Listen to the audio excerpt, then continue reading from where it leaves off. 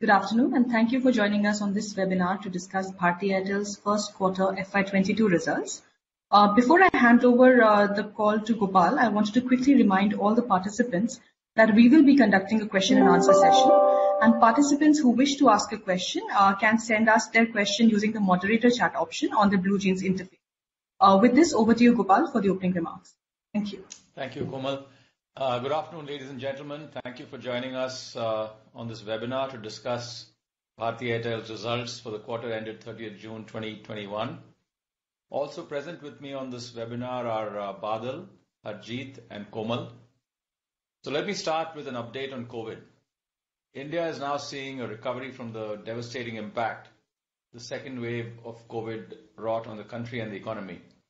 Things are slowly picking up and business is picking up. Uh, Businesses are opening up. Right through uh, this tough period, our teams at Airtel did what was needed to serve our customers. Be it our network teams, the home delivery teams, our sales teams, or our digital teams, every single one of our people lived the spirit of service. And I cannot really stress how proud I am of how Airtel, each one of us at Airtel stood up to serve the nation in this hour of crisis. 3,224 of our employees were impacted by COVID up to date. Sadly, we lost 24 of our colleagues. While this is an irreparable loss, we've done what we can to provide support to the families of these employees through a generous insurance, jobs for their spouses, and education for their children. We've also set up an extensive COVID support program to help our people in dealing with the stress caused by the pandemic. Our partnership with Apollo Hospitals has allowed our own employees, their families, as well as the employees of our associates to all be vaccinated. Till date, close to 90% of our people have been vaccinated. In addition, we've helped our low-income customers tide over the impact of COVID through providing about 270 crores of benefits to keep them connected. Let me now briefly comment on our performance during the quarter. Our consolidated revenues for the quarter grew by 4.3% sequentially to hit 26,854 crores. Our EBITDA margins improved from 48.9% to 49.1% on a sequential basis. While a lot of attention is paid to our mobile business, I do want to underscore the strength of our portfolio, which is very clear in our performance this quarter. As you know, we have three parts to our overall portfolio: India Mobile, Enterprises and Homes in India, and Africa. Sequentially, of the 1,106 crores of growth that we showed at a consolidated level, India Mobile accounted for 20% of this growth. The rest of the growth, which is a balance 80%, came from our other businesses as well as geographies outside of India. So at a time when wireless revenue was impacted by the COVID-led lockdown and the consequent financial squeeze amongst many of our relatively lower income customers, the rest of the portfolio delivered strongly. This really shows you the resilience and strength of our portfolio. Let me now comment briefly on each of our businesses within the portfolio, and I will start with the homes business. During the quarter, we continued to expand our presence by rolling out an additional 1 million home passes. Our innovative partnership model with a local cable operator allowed us to extend our services to an additional 98 towns, taking our local cable operator presence now to over 300 towns. Uh, in fact, our broadband presence to over 300+ towns. With the continued growth in demand for high-quality broadband triggered by work from home, online education, and entertainment, the business added 285,000 customers and reached a milestone of 3.35 million broadband customers. This was despite challenges faced in the quarter due to lockdowns. With the lifting of the lockdown and the ebbing of the second COVID wave, we are seeing even stronger momentum in this business. We're also seeing the temporary disconnections made by small businesses and commercial offices being activated again. Going forward, I believe fiber to the home is a very large opportunity, and we will continue to step up investments to take our network to over 2,000 towns across India and cover over 35 million home passes in the next three years. We have further strengthened our number two position in the DTH industry and now have a presence in 18 million high-value homes. The ARPU for this business has remained at rupees 151. I believe there are two opportunities to grow this business. The first is conversion from cable, and the second is the move to connected boxes, which also allow us to operate as a platform of choice for driving the penetration of over-the-top services in partnership with over-the-top content providers. During the quarter, we made a representation to the government to bring DTH under the DoT, given the varying regulatory policies arising out of the different delivery modes of the very same content and services through different technologies, be it cable, satellite, or fiber. We will continue to pursue this so as to bring about a more cohesive and consistent policy regime. For the mobile business, COVID-induced lockdown saw some impact on smartphone shipments.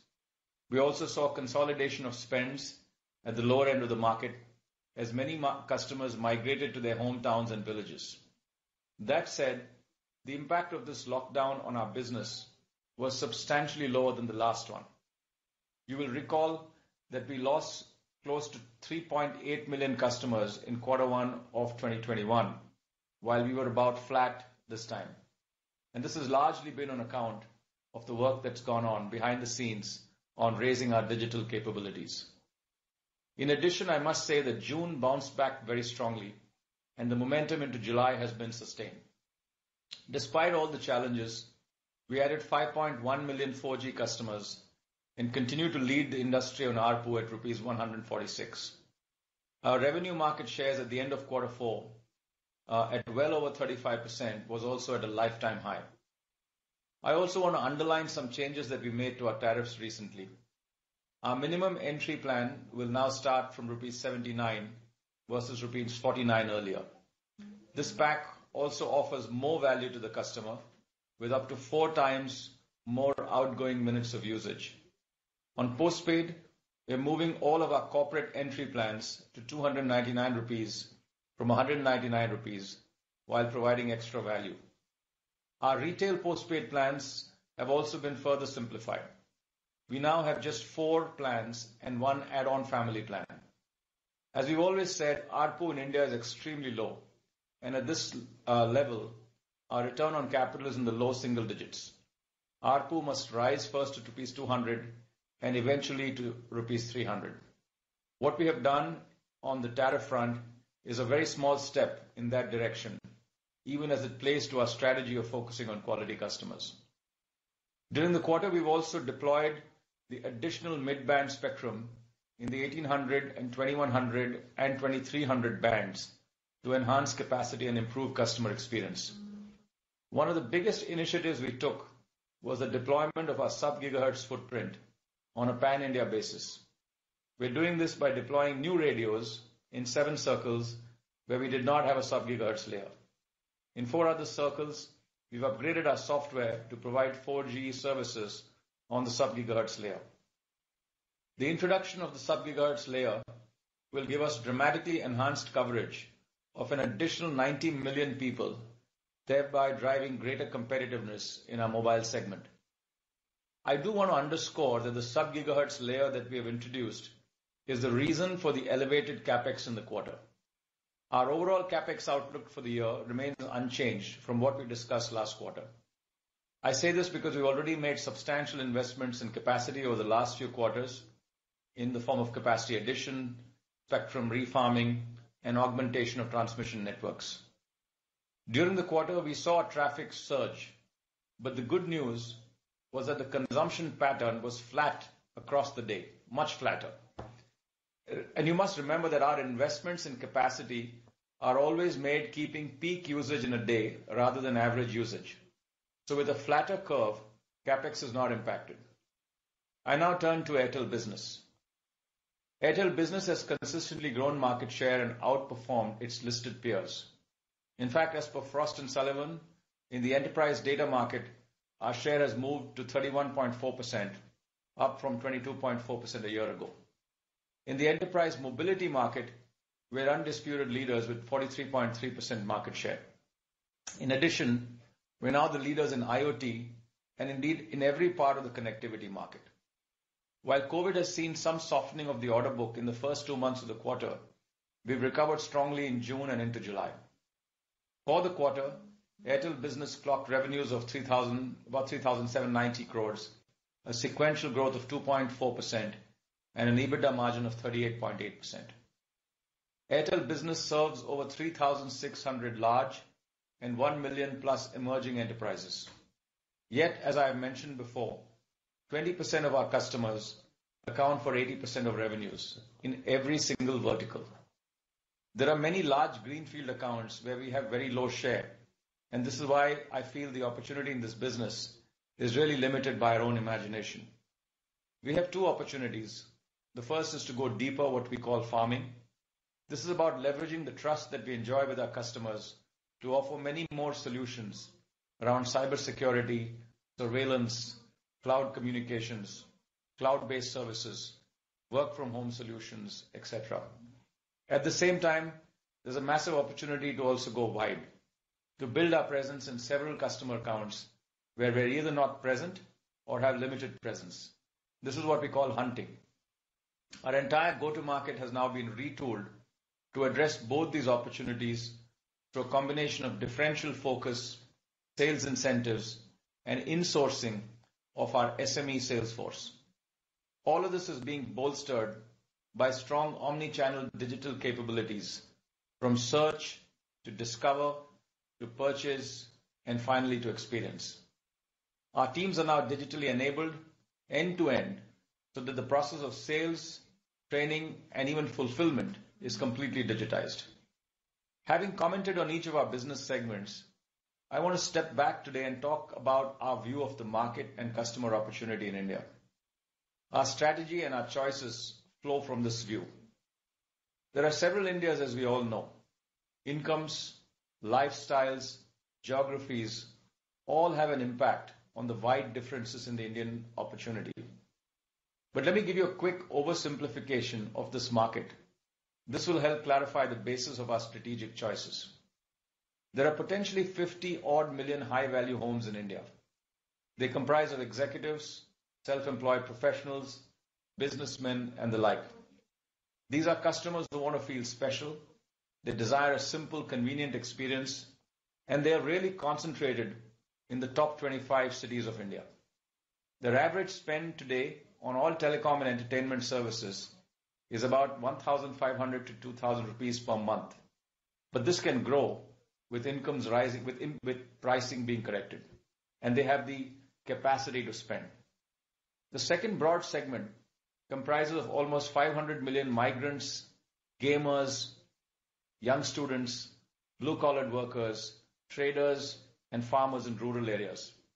For the sake of simplicity, let's call them aspirers. These aspirers have a smartphone for whom the device is an essential part of their lives. They seek a good experience around their specific use cases and look for good value, not necessarily the lowest price. A large part of this customer base is concentrated in about 300 odd districts in India. The common characteristics of both these segments is that they switch seamlessly between channels, both online and offline. The third segment comprises of an additional 400 million users, comprising of farmers, the elderly, housewives, rural traders, and these are largely users of feature phones today.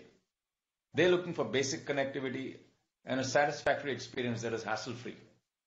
The first two segments, the high-value home and the aspirers, account for almost 85%-90% of the overall customer market in or consumer market in telecom as a whole. This view of the market is what informs our choices and informs our strategy. We have a four-pronged approach, as I've all uh, mentioned earlier. First is to provide a razor-sharp focus on these quality customers that give almost 85%-90% of industry revenue. Second, a relentless obsession to deliver the best experience for them through our network and all the digital assets that we are building. Third, to leverage these digital assets as well as the partnerships we form to create new revenue streams in adjacent areas. And finally, doing this with financial discipline and sound governance. This strategy is the thread that ties all our businesses together. So let me provide a little more texture and example on each of these areas. Let me start with quality customers. Our focus here is to strongly differentiate in a service, eh, our service in a way that is difficult to replicate. A few examples of this are the postpaid family plan, which has a powerful network effect and creates barriers to exit. Almost 61% of our postpaid customers are now on the family plan with negligible churn. Another example is the integration of our payments bank proposition into the core of the mobile offer. Airtel Safe Pay is the most secure way to pay online, and Airtel Bankwala SIM meets a very tangible need for the aspirers, and these are just two illustrations of that. A last example is our pivotal launch of Airtel Black. This is India's first truly converged solution. It is built for the high-value home who has the option of bundling two or more of Airtel services, fiber, DTH or mobile, together to be a part of the Airtel Black Club. This entitles the customer to one single bill, one customer care number with a dedicated team of relationship managers and priority resolution of faults and issues. All of this comes with zero switching and installation costs, coupled with free service visits for life. The most exciting thing for us is that close to 30 million of the 50 million high-value homes that I spoke about are already on our network, either with a postpaid, DTH or broadband connection. So this opportunity is really ours to tap into. In fact, we've seen strong traction on Airtel Black and uh, are already close to reaching the 700K mark in terms of homes. Remember, each of these homes gives an additional average revenue per account of 650 rupees. The second element of our strategy, which matters deeply to the quality customers we serve, is to deliver a great experience. This starts with the network, which is our biggest strength. We've invested over 150,000 crores over the past five years across spectrum and CapEx to build a world-class network.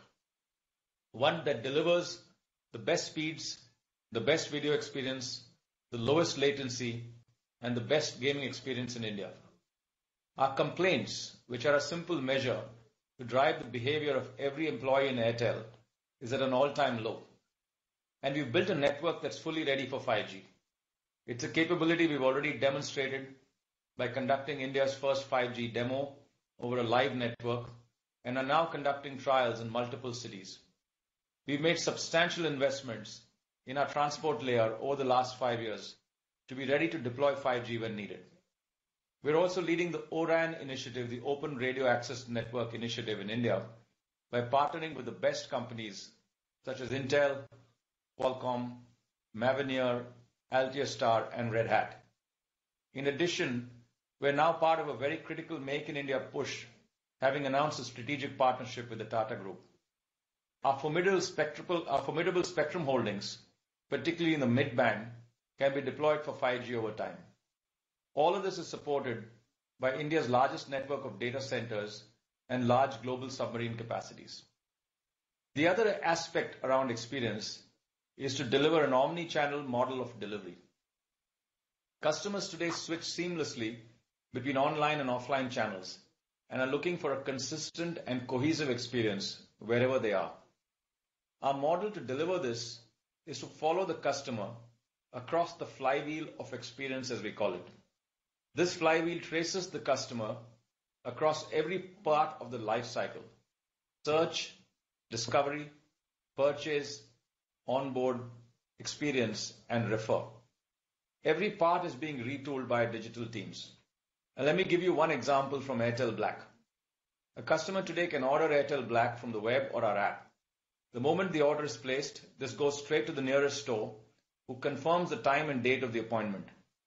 All metrics relating to this call are tracked inside Airtel IQ. Once the appointment is taken, the work order goes digitally to the nearest installer through our Airtel Work app, which tracks and provides analytics on the time taken to complete the job. It also has an inbuilt scheduling algorithm to make sure that no time is wasted between two tasks. This entire capability has been built by our digital teams in a total totally modular way. This will allow us to expand the menu of products to meet many more needs in the homes of our customers. In addition, this capability can also be taken to our Airtel Business customers to create new digital service revenues. We've already done this with Airtel IQ, and we'll do the same with Airtel Work. Today, we have over 1,900 people in our digital organization building products and services like this. Airtel is also increasingly a magnet for the best and brightest of digital talent. And this leads me to the third part of our strategy, leverage our digital assets to create new revenue streams in adjacent areas. Today, Airtel has one of the biggest digital ecosystems in India, with over 190 million monthly active users across its three platforms, Airtel Think Thanks, Wynk Music, and Airtel Xstream. As of today, Airtel Payments Bank has a monthly transacting user base of close to 30 million users, an annualized GMV of over 100,000 crores, and a merchant base of over 7 million. Even more importantly, Airtel Payments Bank has been fully integrated into all our digital channels, both our consumer app as well as retailer app, making us one of the few companies that can collect cash for any service at the point of sale, both online and offline. I'm also pleased that Airtel Payments Bank is now on the verge of hitting a 1,000 crore annualized revenue run rate and has actually broken even in the month of July. Our four core strengths of data, payments, distribution, and network are now increasingly becoming a source of competitive advantage to build an Airtel of the future. There is Nxtra by Airtel, which is today the largest network of data center business in India. We have Airtel IoT, that's now a market leader in the M2M space. We're also leveraging our digital assets to create altogether new revenue streams. There's Airtel IQ, our cloud communication suite, which now has over 120 customers spanning the biggest internet companies, banks, and more. There's Airtel Secure, both in the B2B and B2C space, that offers protection from cyberattacks and threats. This is a business that's now gaining traction. There's Airtel Ads, which rides on our vast digital assets. Today, we already have around 100 brands advertising on our platform. Finally, we have our subscription services across music and video, which are beginning to gain traction. All of these businesses in the digital area operate in a market that's over 50,000 crores and growing. Even more importantly, the economics of playing in these markets are very attractive since they almost come at no cost and CapEx. Over the last few quarters, we've made solid progress in driving these new revenue streams of revenues and are now in touching distance of 1,000 crores of annualized revenue. At the right point, we will provide more color on this segment through our disclosures. I want to end with a few words on ESG and corporate governance. The company remains aligned with the Paris Climate Accord, proactively implementing clean fuel-based power solutions for our towers, our data centers, our switching centers, and other facilities. We've remained committed to the society, our customers, and employees right through the harrowing time of the pandemic. We have continued to demonstrate the highest standards of corporate, financial, and operational disclosures. Our classification of revenue and costs are in line with the best global peers. Our operational KPI definitions are the most stringent in the industry. In wireless, for example, our revenue customer, earning customer definition takes into account actual revenue earned in the last rolling 30 days. When it comes to Airtel Payments Bank, we have further enhanced our reporting standards and now will be representing two additional numbers from this quarter. Firstly, the total users. These are those who have a bank account or wallet with us. Secondly, GMV, which is a standard definition in the industry. This is in addition to the monthly transacting users. I must also underscore that the monthly transacting users that we report are those unique users who have transacted on the platform at least once in the last 30 days. This is a more stringent definition than any other payment platform today. CRISIL have recently aligned us, assigned us a GVC level 1 rating, indicating the highest levels of corporate governance practice and value creation. Lastly, on the recent AGR judgment of the Supreme Court, our request was to permit correction of computational errors in the AGR demands by DoT. These apparent errors have a significant implication on the overall AGR demand. while we are disappointed with the recent outcome, the company has provisioned for the onerous payout and already paid over 18,000 crores, covering its obligations for the first few years as per the direction of the Supreme Court. On the next steps relating to any review petition, we will be guided by legal advice and no decision has been taken on this yet. Finally, a word on our capital structure. The balance sheet continues to remain strong with healthy cash flows and a net debt to EBITDA of just about three, position that is comfortable. The business has been generating strong cash flows for many quarters now. This has been a result of revenue growth, strong operating leverage, and effective deployment of capital. Over the last few months, we've announced multiple monetizations in Africa in the form of tower sales as well as stake sales in Airtel Money. Following a $200 million investment in Airtel Money by TPG, a $100 million investment by Mastercard, and the sale of tower companies in Madagascar and Malawi, we've also recently announced an additional $200 million investment from Qatar Investment Authority in the mobile business in Africa. The total proceeds of close to $1 billion from all of these transactions will be used for further deleveraging. In sum, our performance for the recent quarter has been strong because of the resilience and depth of our portfolio. In every one of our businesses, we're at a lifetime high in terms of revenue market share, the most critical barometer of our competitiveness. Our momentum going into quarter two has been strong. Our strategy and choices are dictated by our view of the India market opportunity. These are cohesive and simple. Even more importantly, we're building an Airtel of the future and are well-positioned as we go forward. Thank you, and I will now take your questions. Thank you, Gopal. Uh, I wanted to quickly remind all participants that they can send us their question on the moderator chat option on the BlueJeans interface. Uh, the first question that we'll be taking is from Ashwin Jain, ICICI MF. Uh, Gopal, his first question is as an outside analyst, he sees Bharti as the leader in the postpaid and the premium segment. It is also the understanding that typically pricing leads increases are taken by the leader. And therefore, could you articulate why Airtel is not more aggressive on price hikes with the premium customer segment? I will ask a second question after you answer this. So I think that's a good question. Uh, we've already done that. Uh, you know, We have taken a pricing on postpaid in the B2B space, moving up our entry plan from 199 to 299. On all other plans, we are at a very substantial premium. In fact, I would argue that our entry plan on postpaid really begins at 399. You know, There are plans in the market today that some of our competitors offer in postpaid, which start at 199.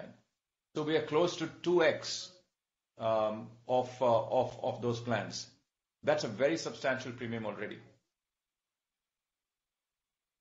Right. Uh, Gopal, the second question is on the network. Uh, he would like to congratulate us on the operational excellence. And uh, the question is that we now support 844 4G users per tower compared to about 712 users per tower a year ago. And therefore, could you talk a little bit about the operating leverage with regards to the number of towers and the data consumed per user? Yeah, I think the fact is that the overall data consumed in India is is exceedingly high simply because of the allowances that are uh that we that we provide at very low levels are extremely high. And this is something that we've been talking about, that the ARPUs in the country are perhaps lower than where it should be to return a you know, a reasonable return on capital for our investment. The reason that our users per tower have gone up is that we have really focused a lot on this. Uh, we have uh, you know, we have a project where uh, we we actually look at every. We'll measure the utilization of every single tower. We look at the number of users at every single tower, and our entire go-to market is aligned to that metric. So one of the things that all our sales teams and our field force are accountable for is actually driving up utilization of what we call low utilization sites or unprofitable sites so that the average comes up. And I think this is one of the reasons that we saw a significant part of our incremental net adds in the last 12 months actually come from those sites where our utilizations were low.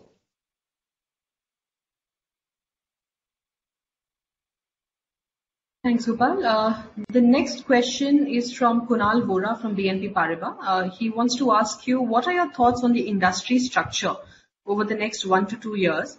And is Airtel prepared for a two-player market if the situation arises? And if it does, what would be the additional investment requirement? So I think that this is a, you know, I mean, uh, I do feel that um, as a country, we we do need three players. I mean, this is a large enough uh, country with 1.3 billion people that can easily accommodate uh, three players in this in this market. Um, and you know Three plus the government player. So um, there is clearly a situation of serious financial stress in the industry. And uh you know, we've seen uh, one of the players actually saying uh, to the government that they may not be able to pay their dues coming up in March 2022. We hope that uh you know the government does something to actually provide some relief to the industry. But even more important, I think if ARPU can go up, then the industry's uh, repair can certainly happen. So I would love to continue to see a three-player market. I think that would be the appropriate outcome for a country as large as India. Substantial investments have been made already by the industry. Uh, there are lots of jobs, not just direct jobs, but indirect jobs.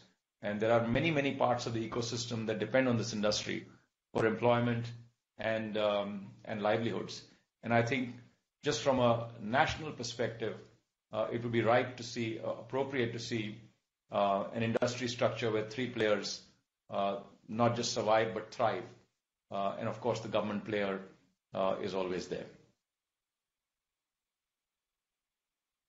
Thanks, Gopal. The next set of questions is around Payments Bank from Kunal. Um, he's saying, thank you for disclosing additional information around Payments Bank. What are the nature of transactions that we are seeing? And can you talk a little bit about the future plans that we have for Payments Bank? Um, so I think we've seen uh we've seen a strong uh, growth in scale on our Payments mm-hmm. Bank. As we said, we have almost 30 million users. Uh, we have several streams of uh, revenue that that come out of the Payments Bank. One is, of course, the deposits itself that are actually put in the Payments Bank, which earn a certain interest. And our deposit base has been growing over the last couple of years. Uh, also, the average balances per customer has been growing. The second uh, big revenue stream is really around remittances. Uh, here we are the number one player across the across the country, and this is simply because of our vast customer base on the telecom side. We have a large base of customers. We understand the corridors of consumption and usage and speaking, and therefore, we are able to actually play in the remittance space in a very powerful way. Uh, and that's been a large source of uh, uh, GMV. The second, the third part is really around payments to merchants. We have a large pool of merchants today, about 7 million. We are seeing increasing growth in our in our um merchant payments on the offline side. And finally, there is the digital side, both you know, again, payments to payments as well as remittances that emerge. Uh, the last point on uh, Payments Bank is really around cash uh, collection.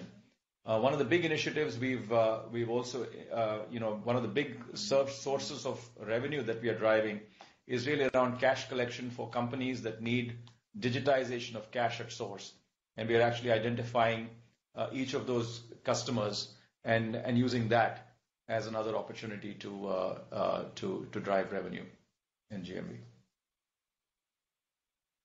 Thanks, Gopal. Uh, the next set of questions are from Sanjesh Jain of uh, ICICI Securities. Uh, the first question um, that I'll ask you is on the CapEx. The CapEx for the India business has been elevated in the past four quarters, while our guidance was for, I would say, flattish to slight reduction in CapEx. So, therefore, do we still see CapEx reduction in FY 2022 versus FY 2021? Could you please explain how much of this CapEx is creating capacity for 4G, and how much is going towards strengthening backhaul fiber in preparation for 5G? I think that, uh, Sanjesh, the CapEx that we put in this quarter, a large part of it was uh, the massive rollout of our 900 and 850 band sub-gigahertz radios. Uh, we wanted to get that done fast because we spent a lot of money in actually buying that spectrum.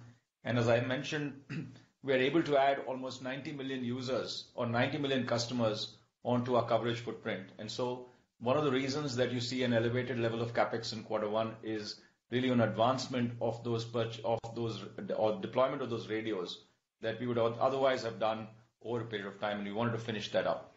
Uh the invest there are three parts to our investment in uh in CapEx now. One is radios, and you'll see that the incremental radio investment is now coming down with the exception of this big chunk of sub-gigahertz radios that were bought. Because a large part of the radio is only capacity radios, and today we have our 900 band and our 1800 band pretty much all across the country. We have a 2100 band in about maybe 60% of the country, and we have a 2300 band in about 80% of the country. So the incremental radios that are needed for covering additional, uh, let's say, sites or additional towers is marginal at best. Uh, And therefore, the only source of radio investment is really more capacity solutions where you have very high consumption uh, in the form of new sites. But with the spectrum purchases that we've done, we've been able to offset that. So the radio investments are continuing to now come down. Then there is the core investments, which is a modest part of the overall CapEx portfolio, and there, I think, is a direct function of how your uh, capacity grows. And the last part is on transport and backhaul. This is where a substantial amount of investment has been made over the last few years. Uh, you will see that you know, in most companies around the world, as data grows, the best telcos in the West, for example, almost 40% of their CapEx goes on transmission and uh and fiber CapEx. We have seen also a significant augmentation of transmission and fiber CapEx over the last few years. So I would say that all in all, it's a balanced CapEx outlook. I'd say I see no reason to change our stance on CapEx for the year. The elevated CapEx that we saw in quarter one was largely, as I said, on account of the sub-gigahertz rollout. Thank you, Gopal. Uh, the next question uh, from Sanjesh, uh, and this is probably for Harjeet and Gopal, both of you, is that Bharti has been consistently generating FCF in the past few quarters. We have also monetized assets in Africa and shared plans to monetize assets in India, such as fiber, et cetera. But we still have a large debt pool at over rupees 1,250 billion. A significant part of the debt is payable to government. That is understandable, but it is also expensive debt at 10% interest rate. So therefore, what are our plans for deleveraging, retiring the high-cost debt, and use of funds from the sale of assets? Harjeet, you want to take that? Sure, Gopal. Sure. So thanks, Sanjesh. Uh, look, I think there are two, three ways to look at this situation. Uh, one is the way you articulated in terms of the absolute amount. And the other, I think it's important to see in two contexts. What is the supporting base for serving this debt, Uh, in terms of the overall leverage ratio? And how is that supporting base behaving in terms of its trends? So I would say, first of all, if you see even the global level, the overall debt to the EBITDA, if you annualize the last quarter, is just about three turns, which is fairly okay, specifically in the, shall I say, building CapEx phase as you're transiting uh, you know, uh, from voice to data consummately. Second, uh, the core EBITDA has been increasing, and I think given the uh, pointers that Gopal mentioned around what is the direction of the overall mobility business in terms of tariffs, uh, the non-mobile business is growing at their own stable pace, new incremental pools of revenues with their associated EBITDAs flowing through. The trend and the outlook on the EBITDA is on the increase. Uh so that's, I think, the second piece we must keep in mind. Third is, as is, where is. Africa, if you see, uh, going by the last quarter and the trends we have seen over the last three, four quarters, generates at least about a $500 million or more of free cash flow. Our tower company, which is a merged co, we have a 41.X% stake there, is also free cash flow generative. It's a profit after tax of around 5,000 crores plus minus uh, here and there, which generates its own dividend. So there are these uh, pools which don't need capital. They actually release capital. Release comes via dividend and also through consolidation. And uh India itself is now given the way you can track the last quarter is free cash flow positive. It could be $1 billion plus X hundred million dollars, depending on how the coming few uh, you know, uh, quarters perform on tariffs. So overall, free cash flow generating, debt to come down, EBITDA to go up, current net debt to EBITDA fairly stable and manageable. There is fundamentally no need to really deleverage strongly. And to mention, bulk of the deleverage has happened towards bank debt. We are virtually near zero bank debt as we speak uh, you know, where we are today. Post the quarter, some more repayments was done to the banks. So we have what is left is finance lease obligations, DoT debt, and keeping Africa aside, very marginal small bank debt in our subsidiaries, Uh, whether it's Telefónica, whether it is DTH, uh, and Hexacom, et cetera. Those small pools apart, really we have repaid bulk to all of the bank debt and left with third uh, bucket of market debt, which is dollar bonds and some domestic bonds. From a perspective of monetization, this is not needed thereby for deleveraging, but those opportunities continue to exist. Now I think there are three or four pools, you know it better. Uh, Africa continues to be listed. Clearly, its uh, value is uh, underrated. We can't be at a PE multiple of six or seven in Africa. You see the EV/EBITDA multiples is fairly low, but that pool is available. It is listco, it is independent. We will see what and when, without losing any control, there is opportunity to chip off. We have a minority stake in Robi in Bangladesh. That, by the way, is listed now for you know, close to eight, nine months. It is trading today probably at about $800 odd million in terms of value of the stock that we have, which is roughly 28%. Uh, no plans to seek control, do anything uh, major there. So for us, it's a liquid opportunity. The third place is tower companies. Uh, if you recall, while in November, December, we accreted more share, but fundamentally it's an independent towerco, and that's a pool which is available for us to think through whenever we need to. And not even talking about the fiber InvIT and/or other, whether it is a homes business or Airtel Payments Bank, over time will need to find the right discipline and scale at which they are monetizable. So these pools are available to be played for the way the business would want to play the strategy, not necessarily to do uh to monetize from our perspective, but these remain available. So within that context, slightly longish, net debt to EBITDA stable, improving. Trend-wise, EBITDA is growing fast. Free cash flow generative independent segments. Monetizable pools, which are available more or less in near liquid form. And over time, uh, new building monetization pools, whether be it fiber or some of the other new subsidiaries for Airtel. Thanks, Harjeet. I'll take two related questions. Uh, one from Rohit Chordia. He's asking that, uh, do we feel we could have waited a little bit more uh, when we were looking at diluting the stake in the Africa mobile commerce business because valuations seem low compared to some of the global transactions in the space. Another question relating to the balance sheet is, would we look at acquiring some more stake now in Indus Towers given the recent share price moves there? Maybe the first one, the answer is, look, there is always an art in terms of timing some of these things. But it was important to see that a small, roughly 10% EBITDA pool of Airtel Africa is now getting valued at 15 multiple. Could we have gotten 18? Could we have waited a bit for more scale to get a better multiple? The answer is yes. And this is only a minority chip off between the two where the closing has been done, TPG and Mastercard. Uh, the the the strike uh, dilution will be about uh, 10.5% odd. It's not necessarily a large dilution. It gives us a benchmark. That benchmark is significantly higher in terms of EBITDA multiple that the entire Airtel Africa stock is trading at. So it allows us to be able to play the Airtel Africa story also fairly well because the illumination has to happen. And since the time we have signed each of the two quarters, we've grown fantastically well in Airtel Money. So I would say timing is an art, but it's for small uh, stake dilutions, it's better to create good benchmarks and ride that out. Uh, on Indus Towers, uh, frankly, the last time also, the positioning which we probably Uh, communicated back to you was driven out of what our belief is, which is the value for the asset and our expectation of the dividend flows coming back.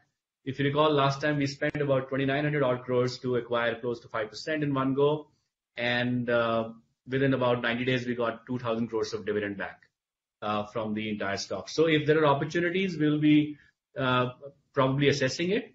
Is there a strategy? Is there a drive to be able to do that tomorrow morning? Absolutely not.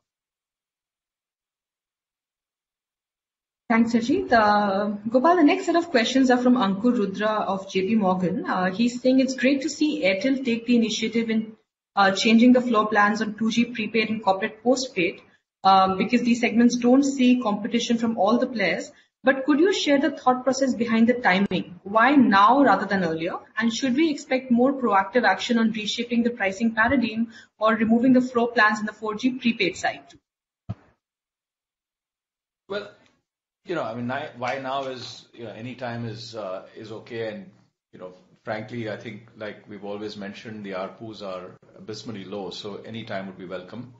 Uh, I think that what we were trying to do is actually be careful about testing this uh, in in a few markets. So we had tested this for some period of time in Andhra Pradesh and UP West.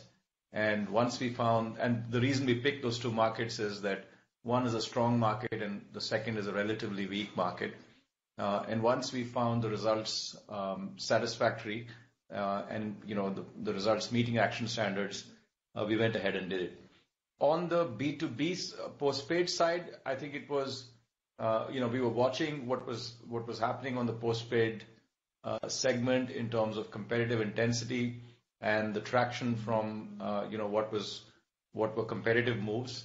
And once we found that uh, we were uh, we were in a position where uh, we felt it was time, we actually made the move. Um, I think on the rest of it, while there may be some opportunities to do it unilaterally, like what we've done in in a few areas, I think going up beyond the premium that we today have on the large pool of 500 million smartphones, which is the Aspira segment that I spoke about, could lead to uh, some switch of switch away of perhaps some more price elastic customers. And I think therefore, we need to be a little bit more careful about that. We're already at a premium, as you know. And uh, this is where we will uh, we will perhaps not be in a position to take the first step, um, as I've mentioned before, simply because I think that could lead to a more erosion of customers and consequently erosion of competitiveness. So I think we'll have to wait and watch how that plays out. Right, Gopal. Uh, the next question from Ankur is that it's great to see carving out of the digital assets, including payments bank, but is there any change in the thought process regarding raising external capital uh, in these businesses? I think one thing that uh, you know, I would say is that if you take Airtel Payments Bank, uh that has been that is set up as a separate company, not just because of what we wanted, but also because it is mandated uh, by regulation uh, from the Reserve Bank of India. Uh, so It's separate. It's a separate company while it's a subsidiary of Airtel. And it has a strong linkage with Airtel because it is Airtel that gives it a tremendous advantage in terms of distribution scale and customer access, as well as you know, the digital assets that Airtel has. I think it still operates independently. Um, Airtel Payments Bank, um, like I mentioned, is you know, is subject to uh, um, you know, certain regulatory restrictions.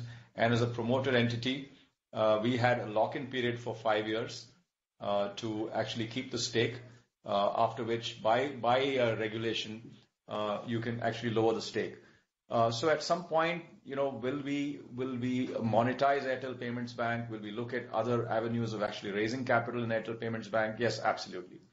Uh, I think on the digital assets, on the other hand, uh, this part is totally intertwined with Airtel because there is no real uh, digital asset without the access to the four strengths that I've always talked about from an Airtel standpoint. So it's it's very intertwined with with what Airtel brings to the table, and it enables us to add value not just to the core, but also drive new revenue streams. But they are independent in the sense that they are independent businesses that are profitable or that have their own business model and their own economics in their own right.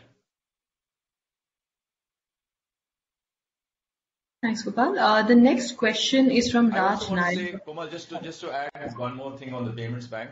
Um, You know, like I said, I think because it's so intertwined with Airtel in terms of the the advantage that Airtel brings, while it operates as a separate company, the fact is that uh, we are perhaps the only platform that with the current scale that we have, which is 30 million users, close to 1,000 crores of annualized revenue, we've already broken even. Now, if you are a standalone platform, you can never break even with that scale. And you've seen some of the other competitors who actually put out their results, Uh, and the losses that they're actually incurring. So I think the business model of Airtel Payments Bank is a very powerful business model because while it operates independently, it also has the advantage of the scale and the asset base that Airtel has in terms of distribution, in terms of customer access, and in terms of technology. Thanks, Gopal. Uh, the next question is from Raj Nair of JP Asset Management. Uh, he wants to know your thoughts on 5G and the potential implications on our CapEx plans. Um, I think there are, uh, you know, firstly, I think it depends on when the auction is announced. We are hearing that it could be announced as early as next year. Um, there is likely to be an auction of spectrum. Um, the 3.5 GHz spectrum band, where there is adequate spectrum, will probably be made available. Uh, the reserve prices that were last announced by TRAI were uh, were astronomical, and we um, uh, we have said at that price we were not able to afford it. We're hoping that the reserve price will come down. The DoT has referred back to TRAI to look at the reserve price. Um, our networks from a transmission standpoint are getting ready day by day. In fact, over the last two years, we made a substantial investment in transmission, transport, and fiber to ready ourselves for 5G. So to that extent, that part will be ready by the time the launch happens. Most of our radios by most suppliers are already 5G ready, uh, as we demonstrated in the test that we did in Hyderabad. Uh, the core networks that we have, the core investments are all getting future-proofed in terms of 5G. So the real investments that will be needed on 5G is the additional radios that will be uh, that you will need to procure, in the uh in the in and that is a modular investment as the devices light up. So today, on the B2B side, the use cases on 5G are still few and far between. Um, on the B2C side, uh, some of the devices now that are coming in into India, uh, the most recent month, 12% of the shipments of devices or smartphones that came into India were already 5G compatible. But on an installed base basis, it's less than 1% or 2%. So even if you look at, let's say, 12-18 months out, this is likely to be about 15%, maybe 12%-15% of the installed base. And it could start with the larger cities, uh, the more affluent geographies, uh, before it actually rolls out everywhere. Uh, do do not also forget that as 5G rolls out, some of the 4G CapEx will come off, Uh, simply because the cost of producing a gigabyte on 5G will always be lower than the cost of producing one on 4G because there's more spectrum there. Uh, the radios have used more advanced technologies to uh, to to crunch in a lot more data on the same hertz of spectrum. So to that extent, I think that's the way the CapEx will get managed. Thanks, Gopal. The next question is from Sulabh Govila from Morgan Stanley. Uh, he wants to know that with the upcoming launch of low-cost smartphones, do we expect the market to gravitate towards a subsidy-led model, given that we are all vying for smartphone customers? And how does that gel with our focus on the top two customer buckets that we highlighted in the opening remarks? I think, Sulabh, that's a good question. Um, Uh, we've always mentioned that the subsidy game is really a mug's game. Uh, we know that, uh, firstly, the ARPUs in India are extremely low, and the financials or the P&L of any telecom company you know, will really struggle um, to absorb large-scale subsidies. So to that extent, I think subsidy. And the second reason the subsidy is a mug's game is that because once the subsidy is withdrawn, uh, you do see customers at the end of the device upgrade cycle actually coming back and remaking their choices all over again. So it's not necessary that it stay on the same network. Uh, for all of those reasons, we feel subsidy is not a great uh, great idea. But it is a competitive market, and you know, it's not up to us alone. So should there be a s there should be a should there be a play in the low end of the smartphone segment, we'll have to wait and watch and see how that plays out. Suffice it to say that we're building a bunch of capabilities. We're working with uh, both uh, OEM manufacturers, with uh, Google, as well as with software developers to see how we play this game in the smartest way without taking inventory positions, without manufacturing our own device, while still playing with the ecosystem at large, but yet being competitive. I am not able to share a lot more texture and detail on this because some of this is still being worked through, and it's still unclear you know, what uh what you know uh could happen competitively. But I do want to re I do want to underscore that we are we are ready with two or three scenarios, and we're working with all of these options, and many of these have already been piloted and tested and are ready to be triggered whenever they need to be triggered. Thanks, Gopal. Uh, the next question is from Vishnu from JM Financial. Uh, he wants to know that recently telecom companies have launched plans without daily data limits. For Airtel, how has been the traction in such plans? And at a broader level, could this be the way forward for the industry with higher price points but flexible usage, effectively guaranteeing us higher price per GB than what we are able to garner now? Uh, I think the short answer to the question that you asked, Vishnu, is that Uh, the traction on these plans is low uh, in the industry and low for us, and I would imagine it's low for the industry. Having said that, I do believe it's the right way forward because the current model of a daily quota of GBs, uh, where people are still not using their full quota and therefore consumption is going up without necessarily commensurate increase in ARPU. I mean, the growth in volume and the growth in ARPU are not sort of two different lines. Uh, the one way by which actually you can have a most uh, well-architected price structure is really to play to the consumer pyramid in India. And playing to the consumer pyramid in India means that you need to have, let's say, a low, medium, high type of price uh, price point. Uh, so let's say you begin at about 80-100 rupees. You have a 200 rupee plan, and you have a 500 rupee plan with different amounts of data that are actually thrown in.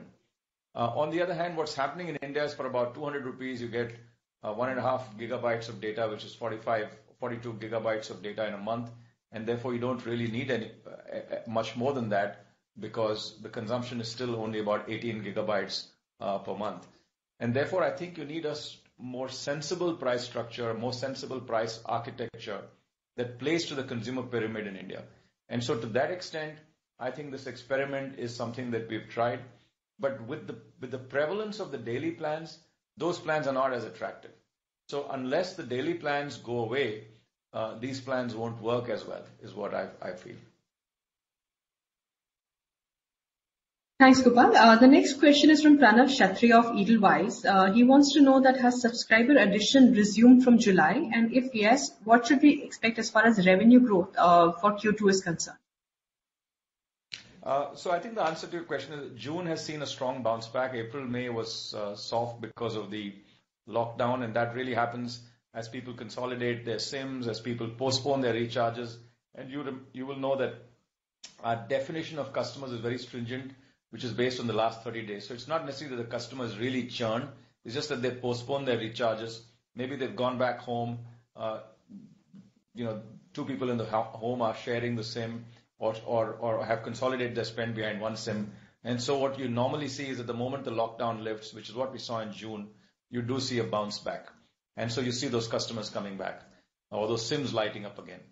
Uh, July has been a strong month as well. So to that extent, I think it's been good news. Now, I think in August, we made the intervention of the plan from 49 to 79. Uh, the last time we did this, we did see some SIM consolidation at the lower end of the market, uh, which would show up as churn. Uh and this will take about 30 days for it to settle, and then September should come back to a normal recovery. So I think I can't give you a guidance for the quarter, but I can tell you that it'll be a combination of all of these factors, which is a strong June, a strong July, uh, a SIM consolidation in August led out of the price uh, tariff increase at the lower end of the market, uh, some bounce back in September, and revenues arising out of this tariff increase flowing through. So I think it'll be a combination of all of those factors. Thank you, Gopal. In the interest of time, I'll just uh, ask two last questions. Firstly, any medium-term guidance that we can provide on ARPUs? Where do we expect ARPUs to be over the medium term? And secondly, have we ever thought about demerging Airtel Business, given it's a tech services-based company, and unlocking value there? So again, uh, you know, guidance on ARPU is like you know, a guidance on revenue. So I'm afraid I can't give you a guidance on that. What I can say is that uh, I hope that you know, um, in the next few quarters, we do see uh, some rounds of tariff increase, which take the ARPU up closer to 200. I think that would be a good outcome, and of course, eventually it needs to get to 300. Uh, on Airtel Business, I think if you look at the composition of Airtel Business, and this is true not just for us, but across telcos around the world, uh, the enterprise business is really built on top of the wireless business. And let me explain that in a moment. Uh, the heart of the telecom business increasingly is fiber.